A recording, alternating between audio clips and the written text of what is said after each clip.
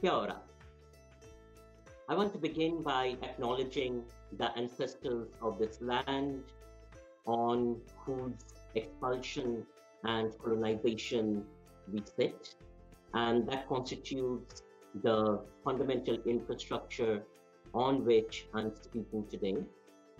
I want to take this moment also to thank my ancestors who have taught me the importance of uh, social justice as the anchor to the generation of knowledge. I want to thank uh, those union organizers, activists, left party organizers, anti colonial protesters that form the basis of the conversation that I'm going to join into today. I also finally want to thank Lee for organizing this uh, special panel that uh, brings together some of my uh, favorite scholars to think about and discuss what open science looks like and what the conversation on open science ought to be looking at um, as we um, consider the horizon. I'm going to frame my talk in terms of the question of epistemicide, the uh, usage of colonial tools to fundamentally erase sites of knowledge production in the global south, and discuss the ways in which we can resist epistemicide through the active work of building knowledge infrastructures. The way this talk will be presented then is that I will begin by discussing the question of epistemicide as the setting for framing the culture centered approach, uh, which is the approach that I've been working on over the last two decades, with the question of what does it mean to listen to voices at the subaltern margins that have historically and systematically been erased from discursive spaces. I will then discuss the question of subaltern science and indigenous knowledge production, uh, the ways in which indigenous knowledge um, intervenes into hegemonic uh, structures of knowledge production, and how then does that offer an imaginary for indigenous futures. What I have for you here as a way to frame this conversation is an image of a woman, uh, mostly Dalit or untouchable women organized within the context of India's agrarian margins, India's rural margins, in the backdrop of the large scale epidemic of um, farmer suicides in India. And they're organizing to put forth and to circulate an indigenous form of agriculture that is embedded in indigenous science, and indigenous practice, but also is deeply committed to interrupting and disrupting the neo-colonial, neoliberal project. So this work of the women uh, takes the form of the Millet Network, uh, which is anchored in uh, the production of and the circulation of um, millets as climate-resistant crops that are embedded in indigenous livelihoods and indigenous struggles.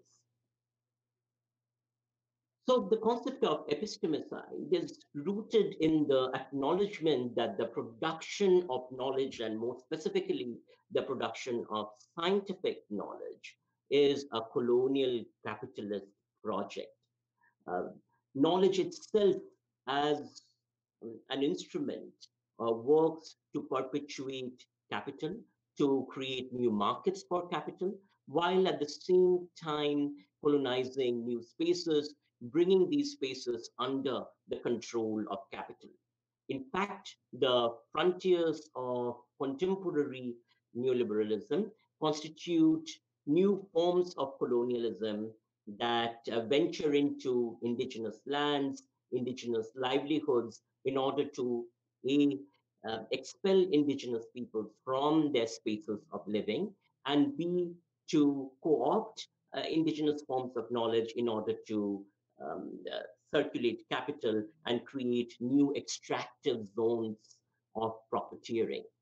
So the project of science in this sense is embedded in the logics of whiteness, the norms of whiteness, the principles of whiteness that use science and deploy science in particular ways in order to exclude sciences from the margins. Here, the key point to note is that uh, the margins then are actively created through works of erasure. Uh, the processes of communicative erasure, the processes of delegitimization, the processes of um, stigmatization, uh, the processes of stealing off the agency of subaltern peoples works precisely to prop up a form of science that perpetuates the colonial exercise. And within this colonial exercise, then, is the concept of colonial theft. We, of course, witness that in the form of biopiracy, the stealing of um, indigenous um, germplasm, uh, indigenous life, indigenous biologies in order to create uh, networks of profiteering. Uh, but we also see it in terms of uh, the stealing of indigenous spaces, uh, indigenous um, land, indigenous sites of inhabiting, uh, water, mountains, uh, those spaces that are considered sacred, often under the rhetoric of science and through the deployment of technologies of science. So, although the argument, of course, often goes that, oh, you have to separate science from the specific techniques and technologies, uh, from an indigenous standpoint, science itself is an instrument of whiteness that holds up and reproduces these uh, technologies. So the kind of techno-deterministic solutions that are put forth to address uh, global crises then work to perpetuate these new forms of uh, colonization. A great example of this, for instance, is if you look at the sustainable futures and the um, framework of sustainable science that is put forth, it is often again embedded within the hegemonic structures of colonization while simultaneously erasing the subaltern communities from the margins. So colonial destruction in that sense is inherent in the production of transnational markets. Indigenous livelihoods, forms of living must be destroyed so that markets can be created, markets can be upheld, and markets can be circulated across spaces. So this work of epistemicide, the erasure of um, indigenous ways of uh, knowledge generation, of indigenous knowledge claims, is both material and symbolic. At the symbolic level, it works through the deployment of colonial communication infrastructures that are consistently at work to delegitimize indigenous knowledge, to stigmatize indigenous knowledge in order to create uh, the market mechanisms for hegemonic white science. At the same time, the violence is material because in order to carry out these expulsions and extract extractions, um, indigenous peoples uh, must be uh, removed from their spaces of livelihood, often through the use of force, uh, through the deployment of the police and the military. So you see this in the frontiers of neoliberal capital, that um, the ongoing attacks of capital are deployed through the arms of the state, uh, through the deployment of uh, the military, paramilitary, and um, the police in order to murder, in order to incarcerate, and then fundamentally in order to silence indigenous voices of protest. So the question then, with respect to the problem of epistemicide, is how do we take the challenge for open science and decolonize it in ways that interrogate its whiteness and that interrogates its normative logics that perpetuate the colonial capitalist project. So, decolonization in this sense is not about creating an invitational dialogic space, but it is fundamentally anti colonial. It is resistive in its urgency in seeking to dismantle uh, the forms, the structures, and the spaces of knowledge production that are embedded in logics of whiteness. Because whiteness in its colonial forms is violence, because whiteness in its colonial form is murder. Uh, whiteness in its colonial forms is extraction and expulsion.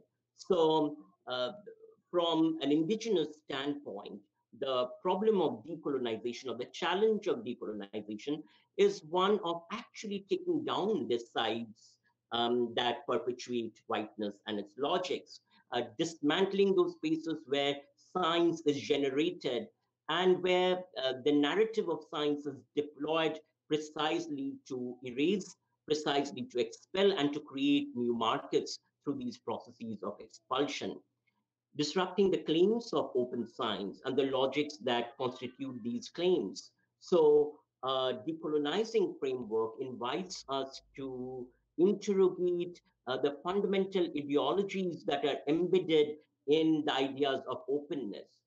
So, who sets the terms of openness? Who operationally defines what is open, for what purposes, and to serve whose purposes?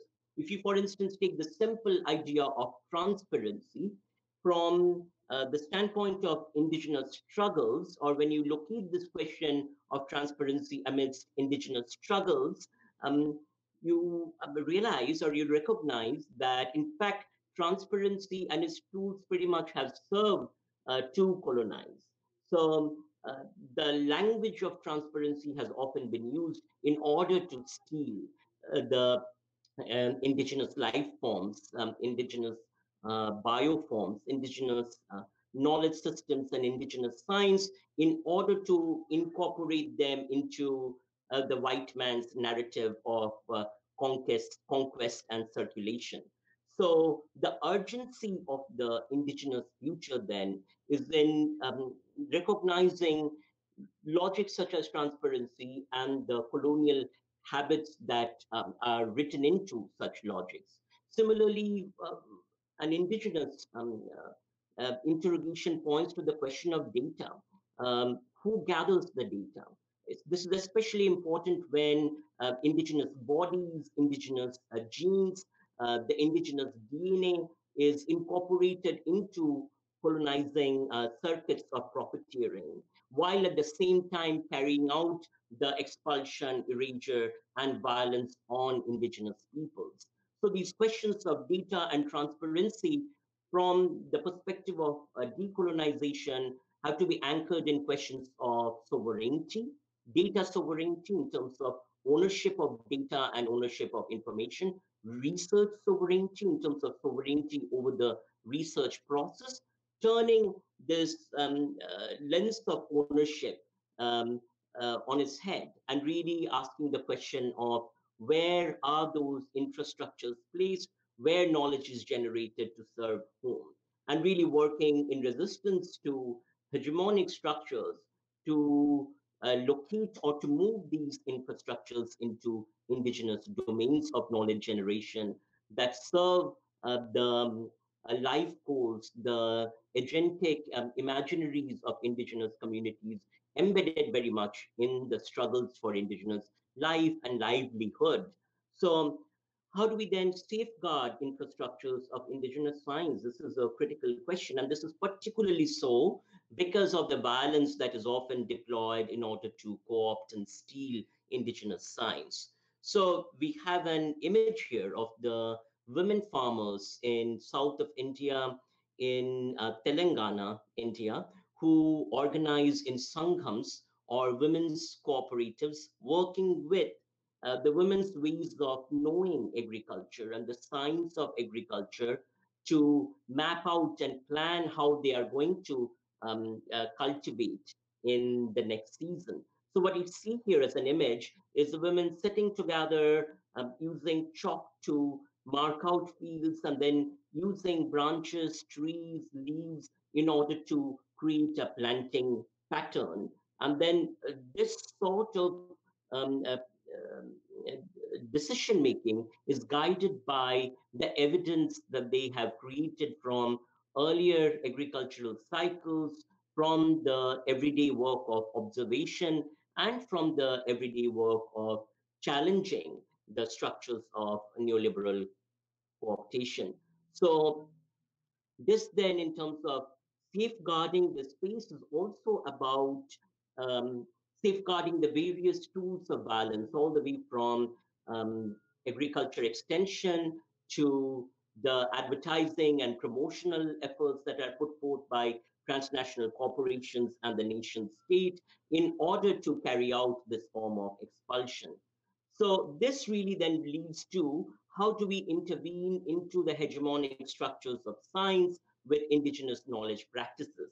So the question of openness and what constitutes openness is not discussed in elite cosmopolitan circuits located elsewhere, is not discussed and held control over in um, ICA conference sessions and in theme sessions, um, but rather um, is actually articulated, practiced, and uh, put forth from within indigenous uh, struggles, from within the struggles for voice, and from within the struggles for methodology, uh, systematic observation, and the generation of scientific knowledge. So the culture-centered approach situated in this uh, conversation invites us, offers us a methodological impetus to imagine the work of generating knowledge uh, as cultivating in the works of, um, in the words of Gayatri Spivak, as cultivating the habits of learning to learn from below. So what does it mean to learn to learn from below? And in this process, then continually decolonize and open up spaces that are committed to the struggles from below.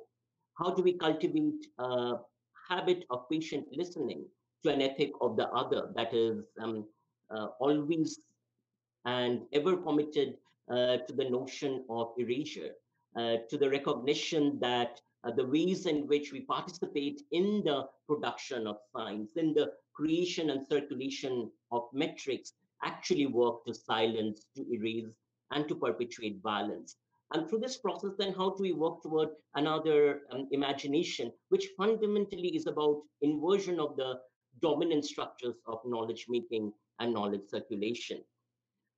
So, in order to create these infrastructures, the culture centered approach argues that we need to think about how we build communicative infrastructures that are anchored in equality equality for opportunities for information, um, information related to specific claims, claims making of science, information related to methodology, information related to uh, representation, and resources for representation in terms of who is doing the work of representing.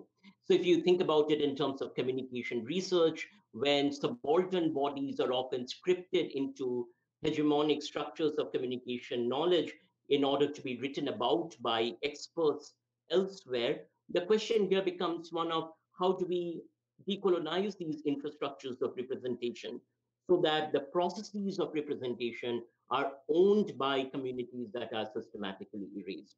How do we co-create infrastructures for uh, decision making? And fundamentally then how do we co-create infrastructures for voice? So communicative equality is about voice equality about building opportunities for erased voices to be heard and for those registers uh, to emerge as uh, registers for imagining other possibilities so ownership here relates to sort of six different forms of ownership that I could think of. One is ownership of knowledge infrastructures, where we make knowledge claims. Um, ownership of knowledge infrastructures for method, where we claim uh, method as well as discuss method. Uh, ownership of information infrastructures in terms of uh, decision-making processes, who makes these decisions.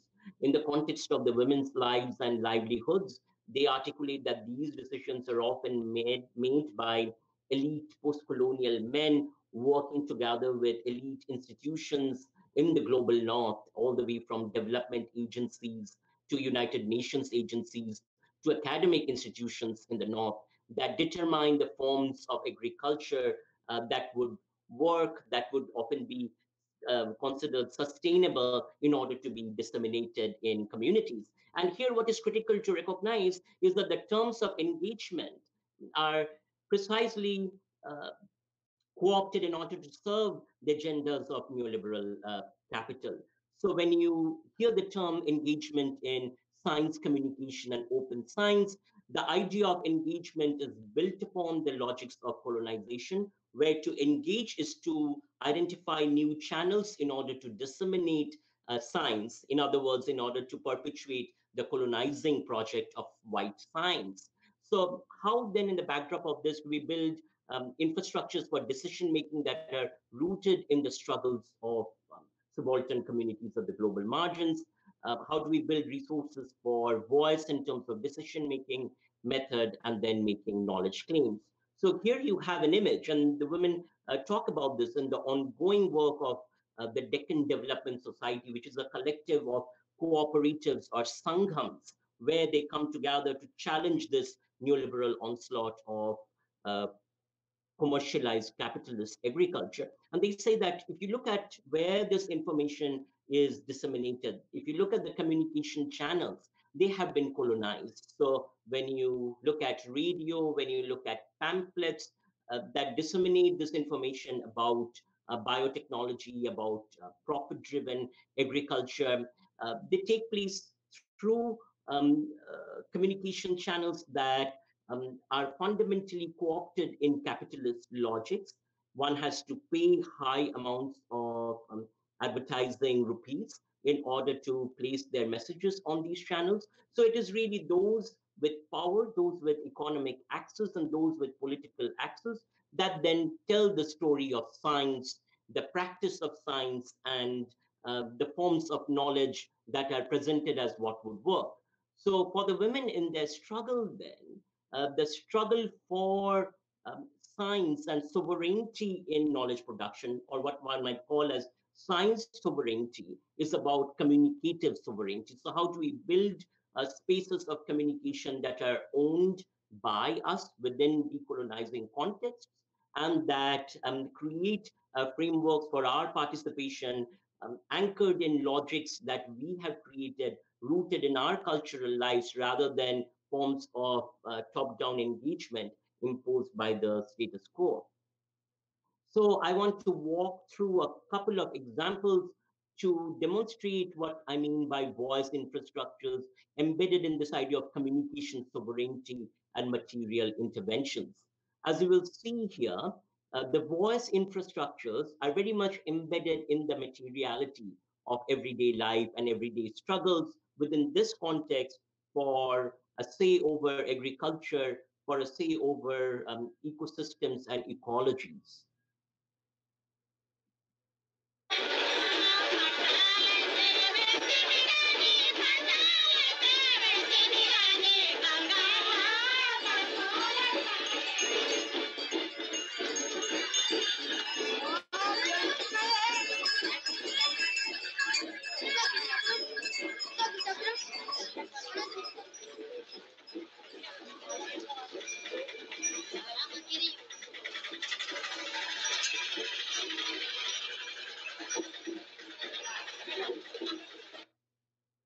What do you do when communicative spaces and architectures and infrastructures have been colonized?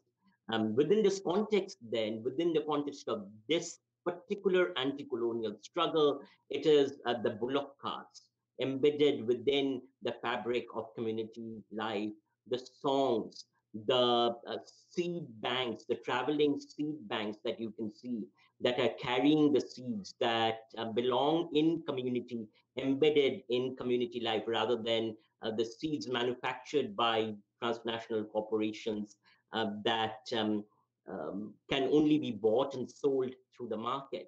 Um, the street processions as they walk from village to village, these become the material sites for articulation. These are the voice architectures that um, are also the architectures for claims making and opening up science. So the process of co-creating communication infrastructures then is one about building spaces of communication sovereignty, spaces where uh, claims can be made by those at the global margins, uh, margins that are actively created by the processes of extraction and expulsion, and uh, participate from these margins in terms that are determined by those at the margins, embedded within logics um, uh, determined by those at the margins. How do we then build plural networks of solidarity that uh, become ways of opening up science through conversations embedded in the everyday methods of struggles of the grassroots and at the subaltern uh, margins. How do we connect across spaces in these struggles? And through these connections, how do we intervene into hegemonic structures?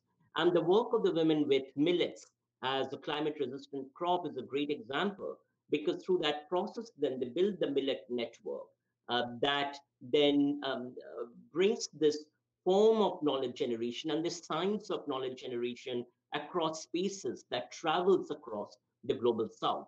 But what is also critical uh, to note here is the importance of resistance and keeping intact the resistive politics. And that essentially means that one has to uh, continually monitor, evaluate, and challenge the hegemonic structures that seek to co-opt and colonize. So how does generation of millet embedded in indigenous science then challenge the co-optive moves by the Gates corporations, um, the Gates Foundation, um, by transnational corporations to then take the millet and turn it into a commodity to uh, profit global capital while actually excluding the women. So the struggle for indigenous science is also the struggle against hegemonic structures and building and sustaining bioresistance. So the work of bioresistance is the process of um, making claims through uh, uh, science and through the process of evidence making embedded within indigenous context, but also uh, retaining the ownership over these claims within these contexts. So the question of science in the setting is turned on its head. For many indigenous struggles, it is about the question is about um, not just what we can share in order to create uh, global frameworks and to build global spaces of resistance, but also what do we keep? Uh, what do we not share? Uh, what uh, knowledge do we keep with us so that uh, this is not turned into another site of colonization? So I will wrap up with um, playing a song from the women's work with agriculture and their struggle. Here they are singing to the seeds, and singing itself becomes a site for performing bioresistance. And then I will uh, wrap up with this concept of communication sovereignty as a basis for decolonizing science.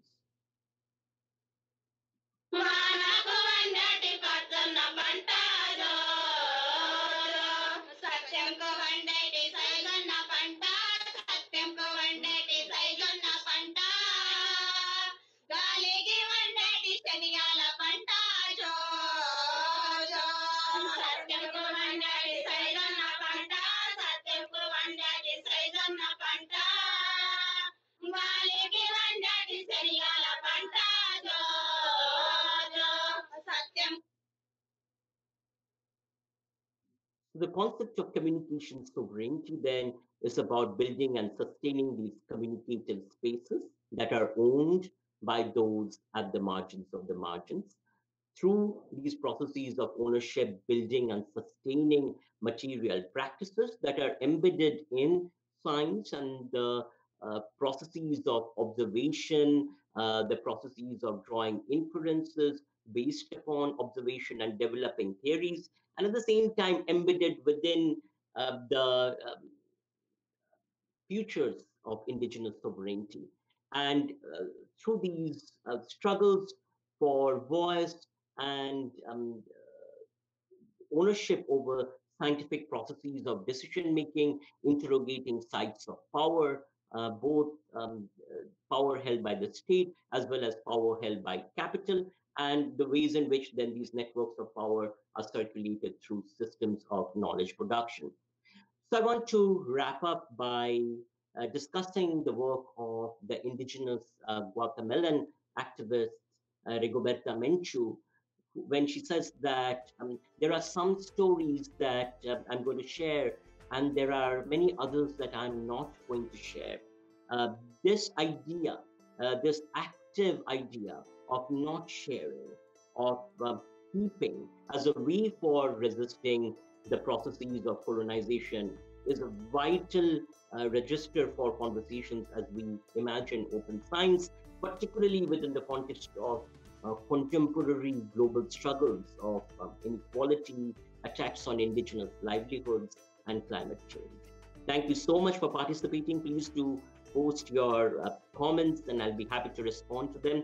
And it's really lovely to be on this panel, um, engaged with other speakers uh, that are asking similar questions uh, that critically interrogate uh, the ideas of open science. Thank you.